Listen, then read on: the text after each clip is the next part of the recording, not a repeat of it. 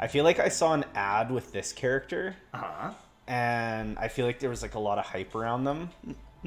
but now I feel like maybe they got nerfed. Did you Do did, they nerf or did, no? did you by chance see any videos of from me with, about that character?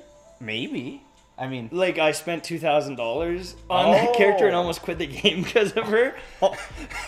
and okay. Almost quit the game because of that stupid little. So is she busted or is she terrible? You have to pick. I'm gonna say without the two thousand dollars, then she was probably bad. Okay, fair.